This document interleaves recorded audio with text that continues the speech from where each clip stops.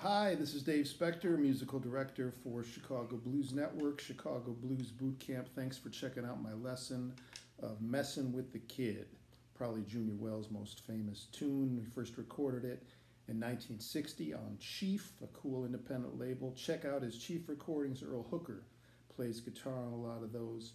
My two favorite versions are from the early 70s, a record called Drinkin' TNT and Smokin' Dynamite.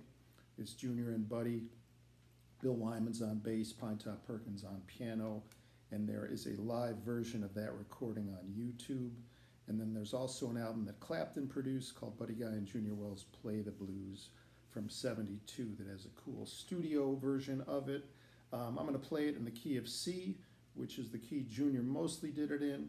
And um, it's a funky blues, definitely not a shuffle, and it's got the famous melodic line that pretty much gets played at the end of every verse and at the beginning of the song and at the end of the song.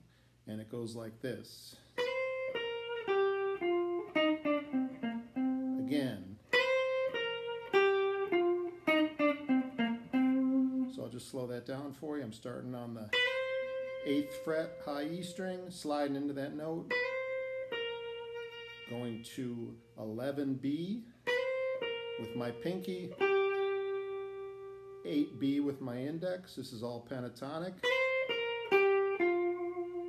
10G, HE, and then going down a half step from HE.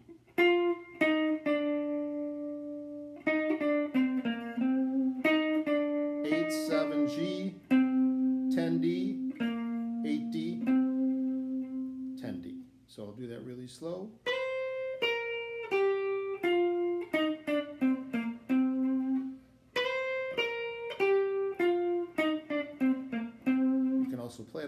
On the lower strings.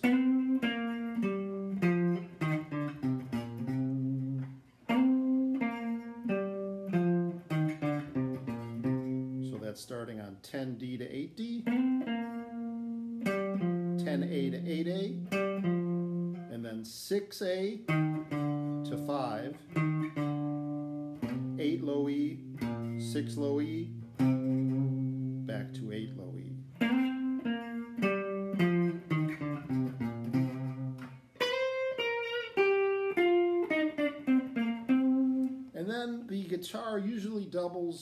the bass line more or less.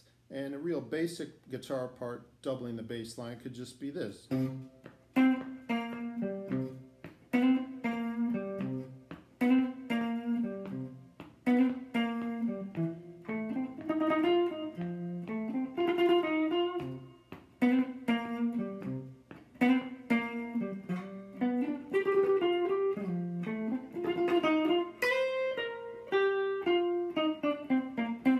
Let's look at those parts.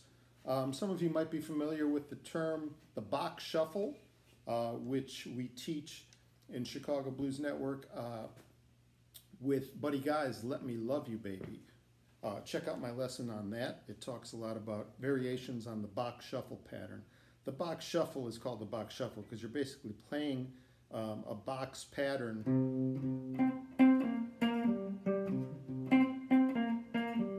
just within those two frets. There are two variations. So on messing with the Kid, I'm playing.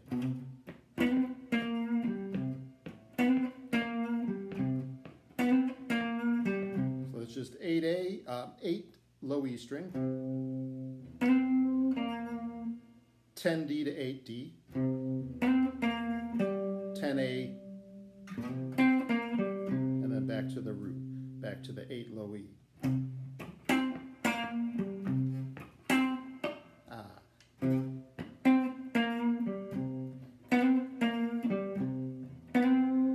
Slide into that note there, that's a nice sound, nice feel.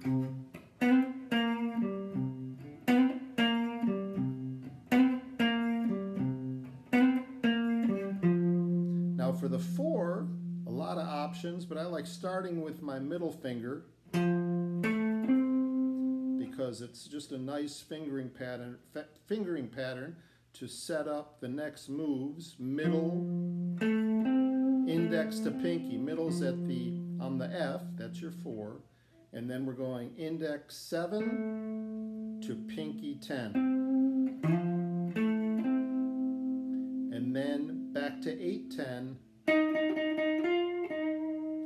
Index finger, ba da da da 10. Ah.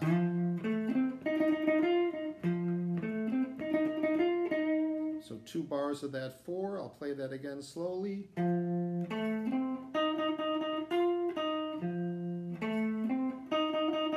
Back to the one.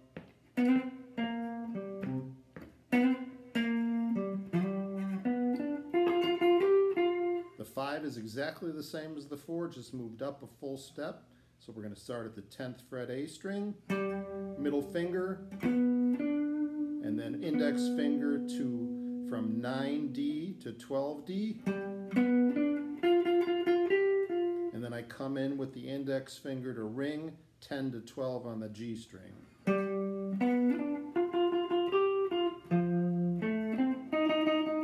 And then the signature melody riff. Notice I'm sliding into that first note, kind of stinging it a bit.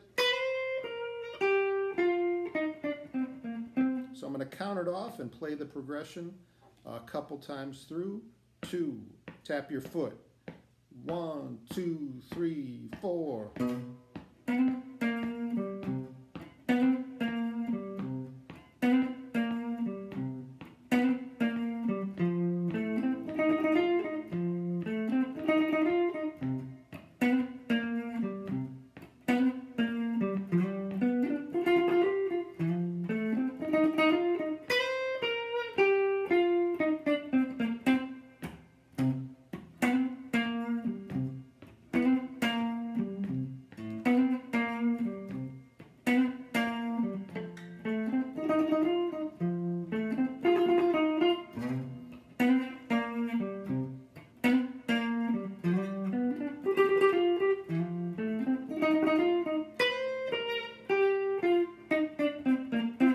Changed things around at that second time through. When I went to the four,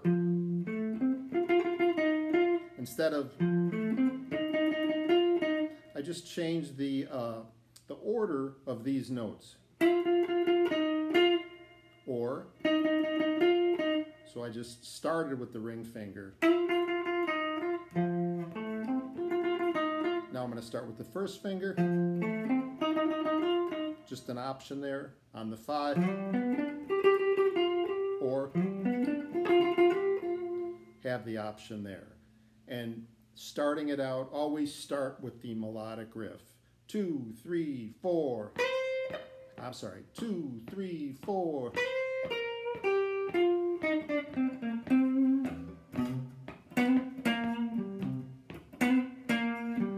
If you were playing chords say you're in a two guitar band um, I would recommend using ninth chords or seventh chords.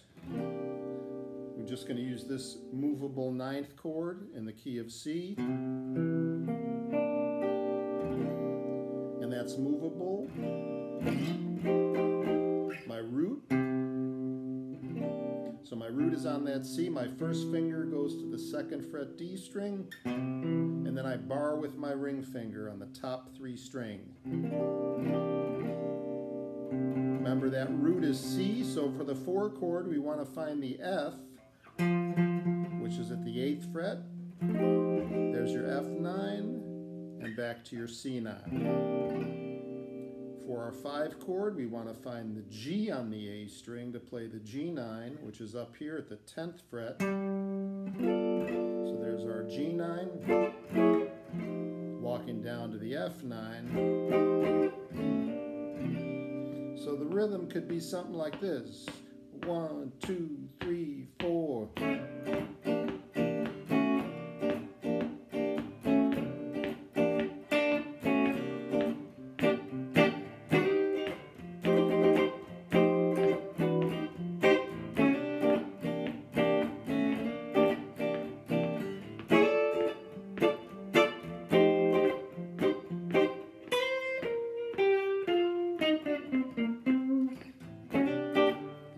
Sliding into it. And that's a nice, nice half step move there. And I'm kind of doing. And I'm accenting that root with my right hand on the A string.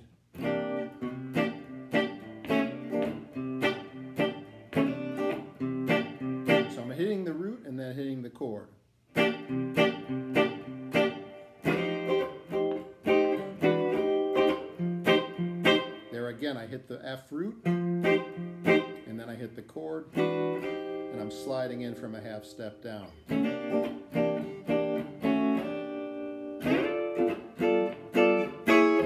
Nice walk down from the G9 down a half step to the F.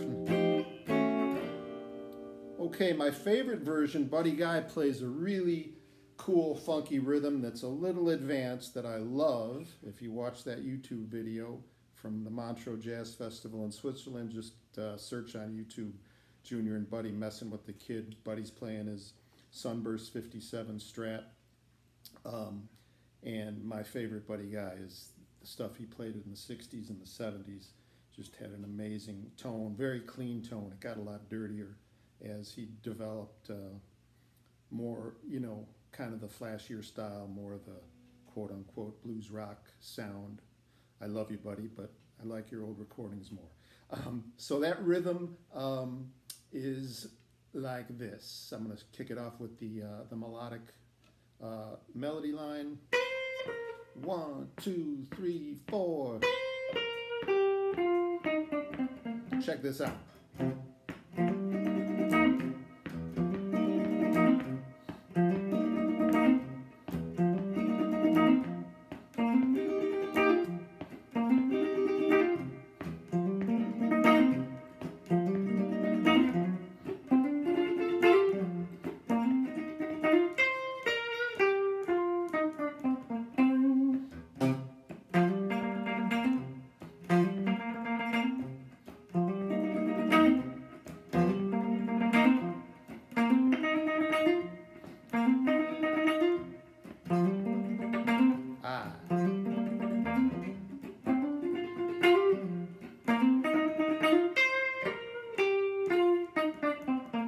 Slow that down. So there are a couple ways to play it with just straight single notes. So it's that, hit that root and then hammer on.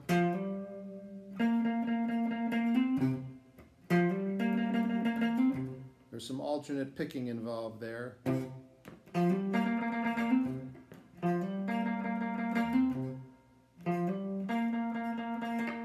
That's on the D string.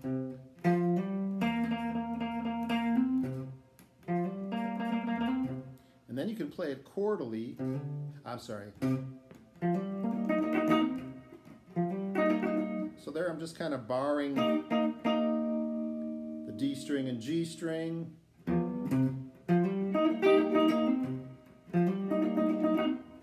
Which kind of, kind of gives it a minor feel. It's definitely a major key blues.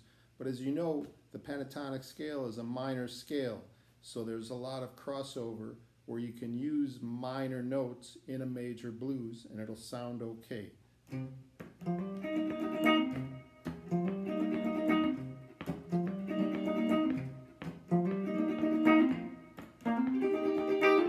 then I'm just on the four, I'm just barring barring the G string and the B string.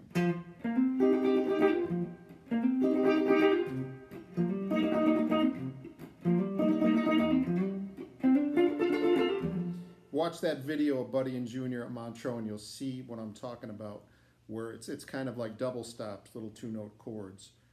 Um, but you can also play it as single note.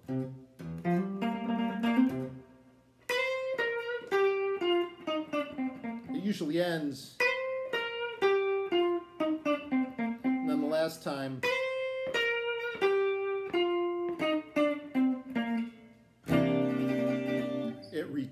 Retards, it slows down that very last time. Sometimes it's three times, sometimes it's twice. Play along with the record and make it funky. Thanks for watching.